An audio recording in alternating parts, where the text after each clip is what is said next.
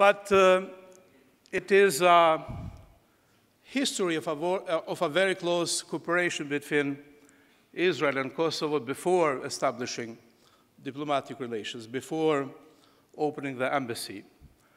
And there is a friend of yours, uh, there is a friend of mine, Avital Leibovich. she was um, always for me the hope, the address, the platform of communication with Israel as long as I was foreign minister of Kosovo.